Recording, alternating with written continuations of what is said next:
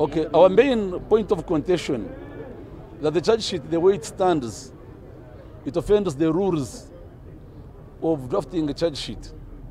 A person is appearing in court should be given facts to make him understand the offense actually committed. But the charge sheet that is before court, it alleges that he made words between March and June. The words are not produced. Surely words must be specific. They cannot be, they cannot be guessed.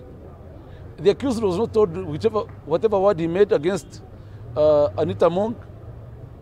He could have made tweets about greetings, could have made tweets about uh, praising her, but saying that whatever he made between March and June could constitute an offense, we find to be improper and offending the rules of framing charge sheet. And there is no, they have not also proved that that Twitter handle, which are saying it is at HADA B belongs to Anderson, our client herein. Any person can use it, including the, actually the complainant.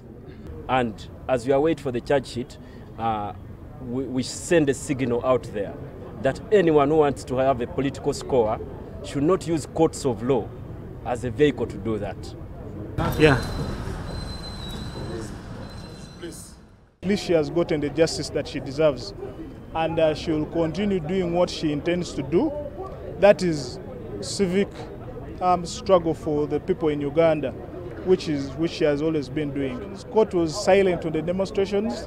Court said that uh, she can, she has gotten her freedom. She's she's able to do anything she wants to do from today onwards. Yes.